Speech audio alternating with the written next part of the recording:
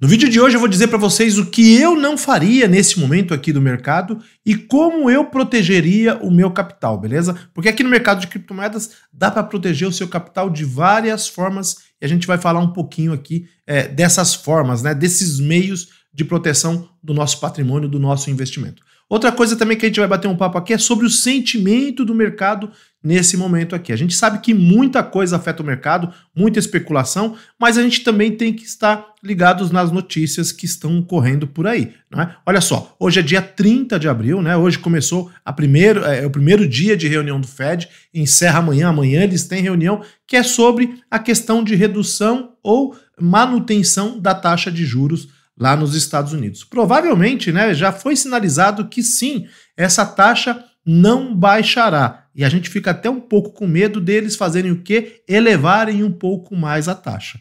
Beleza? Então amanhã nós teremos o, o fechamento dessa reunião e realmente a mensagem né, é, é, que o Fed deve passar para o mercado pode ser dura, beleza? Isso não atrai, isso não é bom para o mercado de renda variável como a gente já disse aqui algumas vezes. Como a gente já falou em vídeos anteriores, a inflação de março veio muito além né, das metas de inflação lá, lá, dos Estados Unidos, e com a inflação descontrolada fica praticamente nula a questão, né, a possibilidade de uma baixa de juros. Isso reflete no preço das criptomoedas, sim. Tem gente que acha que não, mas olha só, pessoal, foi-se o tempo em que o mercado de criptomoedas era descolado do mercado tradicional. Hoje nós avaliamos o resultado do SP500, queda de juros e tudo mais. Então o mercado de criptomoedas sim está meio que ligado ao mercado tradicional. Beleza, gente? É uma realidade. Tem gente que não gosta de ouvir isso, mas a gente precisa entender que essa relação existe. Além da questão da inflação descontrolada lá nos Estados Unidos, nós temos questões geopolíticas que são muito importantes.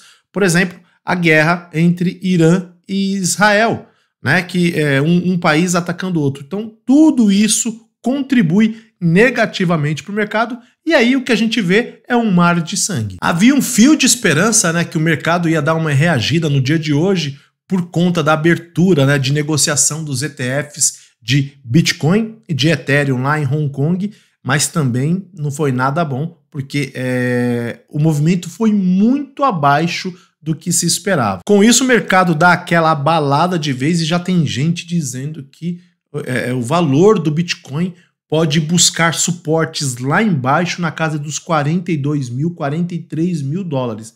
Então a gente tem que ficar muito atento nesse momento aqui, porque é importante. Se você está 100% comprado, eu acho que é importante nós tomarmos algumas medidas para proteção do nosso dinheiro, como já aconteceu no ciclo passado.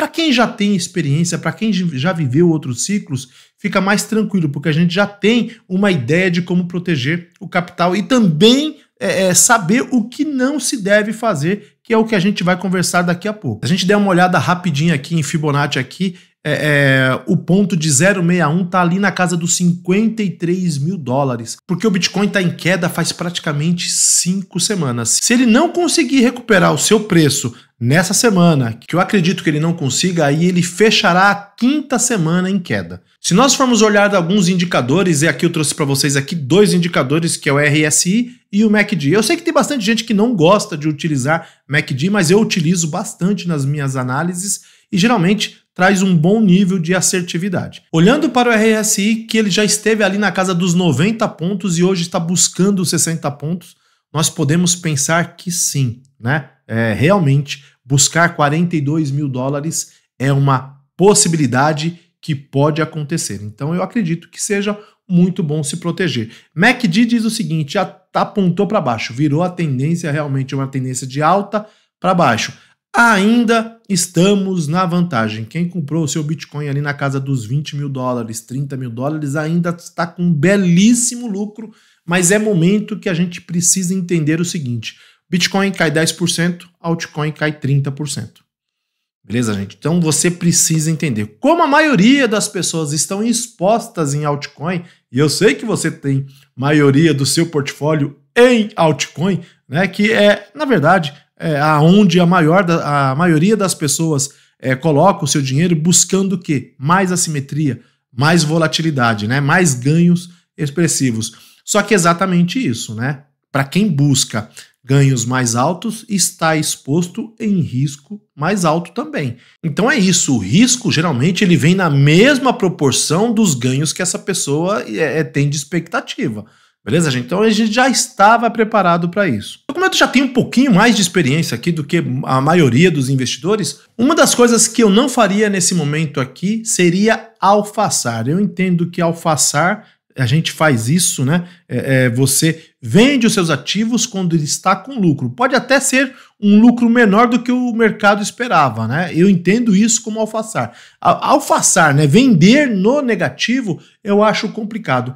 Eu venderia apenas na seguinte forma, tá? Para me reposicionar no mercado. O que, que é isso? Olha, o ativo estava 2 dólares, está 1,50 agora. Então o que, que eu vou fazer? Eu vou vender a 1,50 porque tem expectativa dele cair para 1,40 para 1,30. E aí eu vou recomprando esses ativos, né? Eu vou voltando para o ativo fazendo um DCA. Beleza, gente? Tá? Porque é exatamente isso. Se o ativo continuar caindo, eu continuo comprando. Né? Se eu perceber que a tendência reverteu, que o ativo vai começar a subir novamente, eu me reposiciono no ativo novamente. Beleza? Porque a, a vantagem de fazer o DCA é, é, de compra é buscar o que, pessoal? Buscar preços menores, né, aumentando a quantidade de tokens. Uma das soluções que eu faria é trocar alguns ativos por Bitcoin. Beleza? Né? Eu trocaria alguns ativos. Não vou dizer que eu trocaria todos, mas eu pegaria alguns dos ativos, tá? Que eu tenho da alguma das altcoins e sim transformaria em Bitcoin, porque é exatamente isso. Mesmo que a gente espere queda, você continua com o ativo na mão. E você sabe que o Bitcoin provavelmente irá voltar com muita força assim que o mercado se estabilizar novamente. Então, sim, né, é, é, ao invés de eu me desfazer dos meus ativos, trocar altcoins por Bitcoin. Essa pode ser uma solução. Olha só, eu não faria isso com 100% do meu portfólio. Né? Não faria, né? eu manteria a, a, minha posição em algumas altcoins, tá? Mas sim, né? já estou transformando alguns ativos em Bitcoin, beleza, gente? E para os ativos que eu não pretendo transformar em Bitcoin, a gente pode utilizar o DeFi. Né? O DeFi é uma excelente ferramenta para isso. Você fazendo stake, fazendo farm, entrando em pools de liquidez, esse tipo de coisa. Porque o que acontece? Se você acredita nos fundamentos daquele ativo, não tem o porquê você se desfazer dele. Tudo bem, gente? Mas o que, que você pode fazer? Você pode estar, através do DeFi, né, aumentando a sua posição nesses ativos aqui, fazendo renda passiva, sem gastar nenhum centavo para isso, sem ter que aportar mais dinheiro. Então essa é uma das ferramentas né, que a gente pode utilizar aqui para se proteger nesse momento aqui mais complicado. E novamente, pessoal, alfaçar no prejuízo não é alfaçar.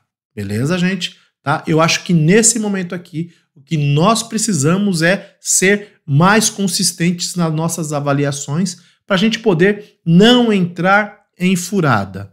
Tá? Se você tem bons ativos com bons fundamentos, eu acho que você está protegido. Se você realmente é, é, entrou somente para especular, né, num monte de meme coin, se sua carteira está com 70 ou 80% de meme coin, sim, vai, você vai sofrer os impactos dessa volatilidade nesse momento, sim, beleza? Então é importante que você saiba se proteger. Lembrando, pessoal, a gente não está fazendo nenhuma recomendação de compra ou venda dos seus ativos aqui. O que a gente está tentando aqui é trazer um conteúdo para ajudar principalmente as pessoas que não têm muita experiência nesse mercado. Espero ter ajudado e aguardo vocês no próximo vídeo. Um abraço, até mais. Tchau, tchau.